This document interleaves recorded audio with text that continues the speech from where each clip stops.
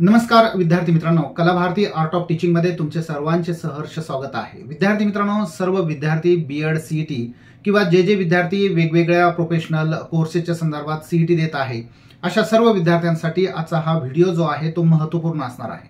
विद्यार्थी मित्रांनो आजच्या या व्हिडिओमध्ये आपण सगळ्यात महत्वाचं की जेव्हा आपण एक्झामला अपियर होणार आहोत तर त्या अपियर होताना आपण कोणकोणत्या महत्वाची काळजी घेणं गरजेचं आहे कोणती महत्वाची केअर करणं गरजेचं आहे या संदर्भातली माहिती आपण पाहणार आहोत. शिवाय विद्यार्थी मित्रांनो जो काही एक्झाम पॅटर्न जो आहे किंवा प्रश्न संदर्भातली जी काही माहिती आहे ती माहिती सुद्धा आपण आजच्या या व्हिडिओमध्ये पाहणार आहोत की नेमका त्याचा पॅटर्न किंवा मार्किंग सिस्टीम कशी आहे. शिवाय विद्यार्थी मित्रांनो या सीईटीच्या एक्झाममध्ये जी काही मार्क्स आपण मिळणार मिळवणार आहोत तर त्या मार्कांचं महत्त्व कसं राहणार आहे इन भविष्यामध्ये तर त्या संदर्भात ती माहिती सुद्धा आपण आजच्या व्हिडिओमध्ये पाहणार आहोत. विद्यार्थी मित्रांनो व्हिडिओ थोडा मोठा कदाचित होऊ शकतो. त्यामुळे व्हिडिओ पूर्ण शेवटपर्यंत पाहणं गरजेचं आहे. शिवाय विद्यार्थी मित्रांनो एक विनंती आहे की सीईटीची तयारी कशी करावी या संदर्भातले व्हिडिओ जे आहे ते कला भारती आर्ट ऑफ टीचिंगच्या प्लेलिस्टमध्ये सुद्धा दिलेले आहे. त्यामुळे ज्या विद्यार्थ्यांना पॅटर्न किंवा प्रश्नांचे स्वरूप कसे येतात कसे असतात या संदर्भातली माहिती जर पाहिजे असेल तर त्यांनी नक्कीच या व्हिडिओवर जाऊन माहिती जी आहे ती घेणं सुद्धा अपेक्षित आहे. विद्यार्थी मित्रांनो सगळ्यात महत्त्वाचं की तुम्ही हॉल तिकीट जेव्हा डाउनलोड करता तेव्हा हॉल तिकीट डाउनलोड केल्यानंतर काही महत्त्वाच्या बाबी ज्या आहेत त्या काळजीपूर्वक पाहणं गरजेचं आहे. विद्यार्थी मित्रांनो त्या हॉल तिकीटमध्ये सगळ्या इन्फॉर्मेशन ज्या आहेत त्या व्यवस्थितपणे दिलेल्या असतात. काही इन्फॉर्मेशन चुकलेली आहे का हे सुद्धा त्या काळामध्ये त्या वेळेसमध्ये आपण पाहणं गरजेचं आहे. आणि ते पाहिल्यानंतर एक गोष्ट आहे की जर तुमच्या मनामध्ये एखादा विषय विचार असेल की काही डेट किंवा काही जे काही शेड्यूल जे आहे ते चेंज होऊ शकतं का? तर असं कोणताही शेड्यूल किंवा डेट चेंज होऊ शकत नाही. जेव्हा तुम्ही एक्झामसाठी स्वतः जाल तेव्हा हॉल तिकीट तुमच्यासोबत असणं गरजेचं आहे. जर हॉल तिकीट नसेल तर अनेक अडचणींचा सामना तुम्हाला करावा लागू शकतो. शिवाय विद्यार्थी मित्रांनो त्या हॉल तिकीटवर रिपोर्टिंग टायमिंग जो आहे तो रिपोर्टिंग टायमिंग पाहणं गरजेचं आहे आणि क्लोजिंग टायमिंग पाहणं गरजेचं आहे. त्यामुळे किमान अर्धा तास किंवा एक तास आपण सेंटरवर त्या ठिकाणी उपस्थित राहणं गरजेचं आहे. दुसरी एक महत्वाची गोष्ट आहे जी त्या ठिकाणी अत्यंत गरजेची आहे ती अशी आहे की विद्यार्थी मित्रांनो की जेव्हा तुम्ही परीक्षा देण्यासाठी जाल तेव्हा किमान किमान एक आयडेंटिटी प्रूफ जो आहे तुमच्याजवळ असणं गरजेचं आहे. त्यामध्ये ड्रायव्हिंग लायसन असेल किंवा पॅन कार्ड असेल किंवा वोटर कार्ड कार्ड असेल किंवा पास बँक पास असेल किंवा एक प्रकारे पासपोर्ट असेल या संदर्भातली की ज्यावर आपला फोटो आहे अशा सर्व आयडेंटिटी त्या ठिकाणी ॲपियर लागू शकतात. या संदर्भात आधार कार्डच्या संदर्भात सूचना दिलेली नाही हा सुद्धा त्या ठिकाणी महत्त्वाचा भाग आहे. त्यामुळे ड्रायव्हिंग लायसन असेल पॅन कार्ड असेल किंवा वोटर आयडी असेल किंवा पासबुक असेल अशा वेगवेगळ्या ज्या काही असणारे इन्फॉर्मेशन किंवा तुमचं शा कॉलेजचं आयडेंटिटी कार्ड असेल या संदर्भातले एक एक आयडी प्रूफ जो आहे तो तुमच्या जवळ असणं गरजेचं आहे. आता प्रश्न असा आहे की अनेक विद्यार्थ्यांचं हा एक प्रॉब्लेम त्या ठिकाणी आहे की काही विद्यार्थिनी जे आहेत त्यांचं नावामध्ये चेंजेस त्या ठिकाणी झालेले असतात. आता चेंजेस जर असेल तर या प्रकारचं जेव्हा तुम्ही रजिस्ट्रेशन करत होता सीईटीचं त्याच वेळेस तुम्हाला त्या ठिकाणी विचारलं गेलेलं आहे की तुमचं लग्नानंतरचं नाव काही बदललेलं आहेत का? तर ज्या विद्यार्थ्यांनी होतं काय अडचण? की या ठिकाणी डॉक्युमेंट एका नावाने असतात आणि पुन्हा चेंज करणं नाव देण्यासाठी बरेच जण देत नाही. जर नाव दिलेलं नसेल आणि नाव चेंज असेल आणि सगळे डॉक्युमेंट जर लग्नानंतरचे जर असेल तर विद्यार्थी मित्रांनो त्या ठिकाणी गॅझेट असेल किंवा मॅरेज सर्टिफिकेट असेल किंवा तुमच्या लग्नाची लग्नपत्रिका असेल किंवा तुम्ही ॲफिडेविट तयार केलेला असेल तर यापैकी एक त्या ठिकाणी घेऊन जाणं गरजेचं आहे जेणेकरून आपल्याला अडचण त्या ठिकाणी येणार नाही. समजा यामधल्या अनेक गोष्टी त्या ठिकाणी नसतील तर तुमचे जे ओरिजिनल डॉक्युमेंट जे असतील त्या डॉक्युमेंटचे काही गोष्टी त्या ठिकाणी प्रूफ म्हणून घेऊन जाणं गरजेचं आहे. जेणेकरून ज्यामध्ये काहीतरी एक फोटो आयडेंटिटी त्या ठिकाणी राहू शकते. या सगळ्या महत्त्वाच्या गोष्टी आहे की कॅन्डिडेट तेच आहे का? किंवा एक पारदर्शी एक्झाम होण्यासाठी ह्या सगळ्या गोष्टी त्या ठिकाणी गरजेच्या आहे. विद्यार्थी मित्रांनो हा एक महत्त्वाचा भाग त्यामध्ये आहे की जर काही डिसॅबिलिटी जर असेल अक्षमता जर असेल तर ती असक्षमता असणारे प्रमाणपत्र तुमच्याजवळ असणं गरजेचं आहे कारण अशा डिसॅबिलिटी असणाऱ्या विद्यार्थ्यांना काही एक्स्ट्रा टाइम त्या ठिकाणी दिला जाणार आहे. जाताना सोबत बॉल पेन जो आहे तो त्या ठिकाणी घेणं घेऊन जाणं गरजेचं आहे. शिवाय कॅल्क्युलेटर असेल वॉच असेल किंवा पेपर असेल किंवा इतर काही पे पेजर असेल किंवा मोबाईल असेल तर ह्या कोणत्याही गोष्टी त्या ठिकाणी अलाउड असणार नाही. आता विद्यार्थी मित्रांनो एक महत्वाची गोष्ट आहे की या परीक्षेला अपिअर होताना ही काळजी घ्यायची परंतु जाताना आपला एक्झाम पॅटर्न कसा असणार आहे? त्या संदर्भातली माहिती सुद्धा आपण या ठिकाणी पाहणार आहोत. माहिती माहिती ही अत्यंत महत्वाची आहे की जेव्हा आपण प्रत्यक्ष कॉम्प्युटर जेव्हा बसू तेव्हा कॉम्प्युटरवर बसल्यानंतर कोणकोणत्या गोष्टी आपल्यासाठी महत्त्वाच्या असणार आहे? शिवाय आपला पॅटर्न जो आहे एक्झाम पॅटर्न तो कसा असणार आहे? या संदर्भातली माहिती सुद्धा आपण लगेच पाहणार आहोत. तोपर्यंत स्टे राहा. लगेच आपण यानंतरची स्लाइडमध्ये ती माहिती पाहणार आहोत. मित्रांनो ही माहिती सुरू करण्या अगोदर एक विनंती आहे की जर तुम्ही माझ्या चॅनलवर नवीन असाल आणि अजूनही माझं चॅनल लाईक शेअर आणि सबस्क्राईब केले नसेल तर कृपया करून लाईक शेअर आणि सबस्क्राईब करा. आणि खरोखरच हा व्हिडिओ जर आवडला असेल तर लाईक करा. विद्यार्थी मित्रांनो Maharashtra B Ed C T आणि ई एल सी टी या दोन्ही परीक्षा ऑनलाईन संगणक आधारित चाचण्या आहेत. आता इच्छुकांना चार पर्याय त्या ठिकाणी दिले जाणार आहे आणि त्यापैकी एकाच पर्यायाची निवड जी आहे ती तुम्हाला करावी लागणार आहे. इथं ही एक महत्त्वाची गोष्ट आहे की उमेदवाराने माऊस वापरून त्या सर्व प्रश्नाची उत्तर जी आहे त्या उत्तरावर क्लिक करणं गरजेचं आहे. आता क्लिक करताना स्क्रीनच्या उजवीकडे प्रश्नांची स्थिती जी आहे ती खालीलप्रमाणे पाहता येऊ शकते.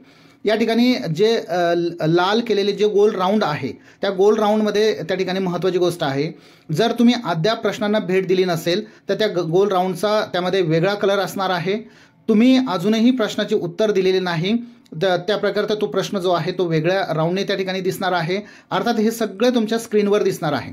त्यामुळं ज्या प्रश्नांचे उत्तर पूर्ण झालेली आहे त्या प्रश्नांचा कलर वेगळा असणार आहे किंवा त्याला बॉक्स जो आहे तो सुद्धा वेगळा येणार आहे. हे स्क्रीनच्या उजव्या बाजूला त्या ठिकाणी असणार आहे. ज्या प्रश्नांना तुम्ही भेट दिली नाही त्या प्रश्नांचा कलर वेगळा असणार आहे त्याचा बॉक्स वेगळा असणार आहे त्या क्रमांकाचा.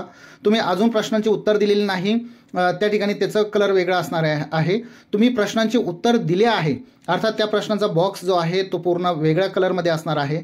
आणि तुम्ही प्रश्नाचे उत्तर दिलेले नाही परंतु पुनरावलोकनासाठी प्रश्न चिन्हांकित गेला आहे. अर्थात तुम्हाला त्या प्रश्नाचं उत्तर येत नाही त्यामुळे तुम्ही पेंडिंग ठेवून पुन्हा त्या ठिकाणी प्रश्नांसाठी येणार आहे.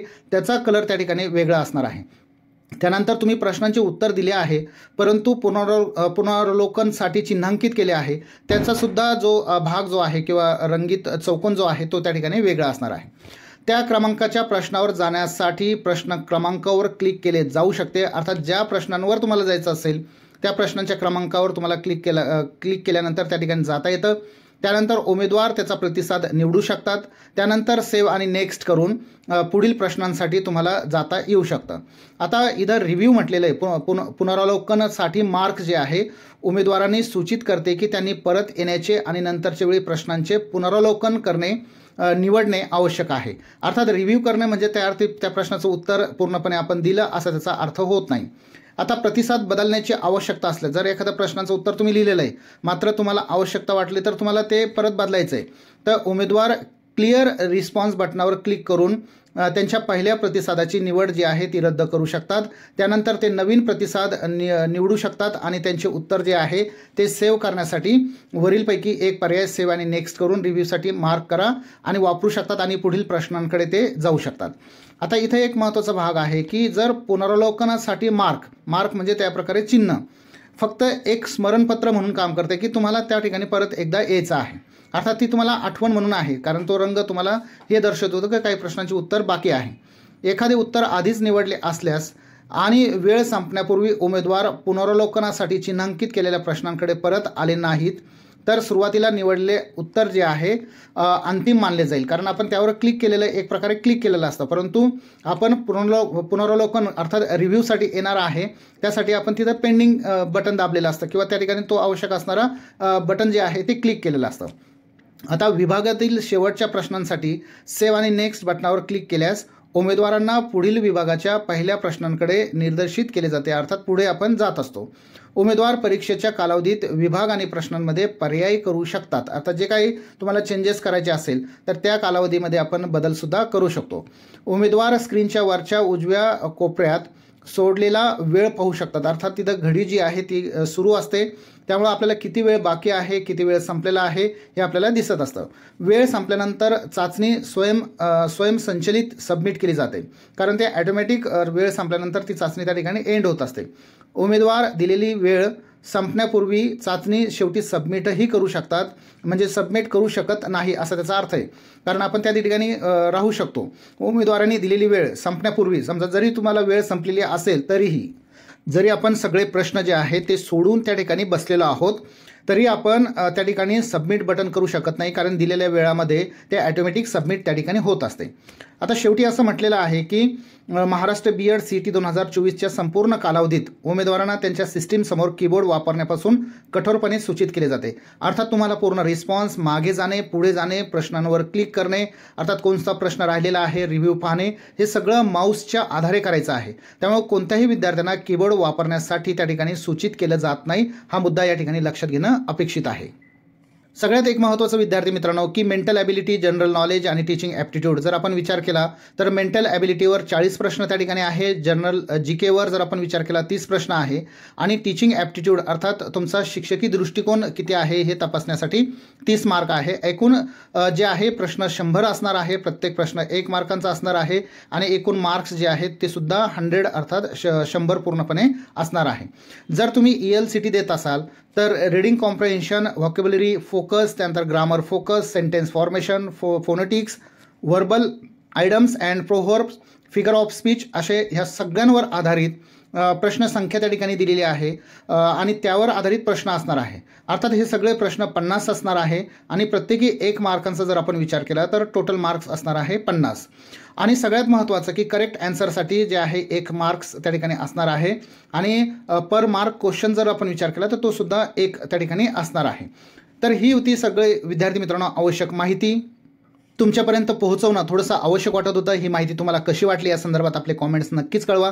प्रत्येक कॉमेंटचं उत्तर देण्याचा मी प्रयत्न करणार आहे. मात्र जाता जाता एक विनंती आहे विद्यार्थी मित्रांनो जर तुम्ही माझ्या चॅनलवर नवीन असाल आणि अजूनही माझं चॅनल लाईक शेअर सबस्क्राईब केलं नसेल तर कृपया करून लाईक शेअर आणि सबस्क्राईब करा. आणि जे विद्यार्थी ऑलरेडी चॅनलवर आहेत जर व्हिडिओ आवडला असेल तर लाईक करा. पुन्हा एकदा नवीन माहितीसह मी तुमच्यासमोर येणार आहे. तोपर्यंत जय हिंद जय भारत.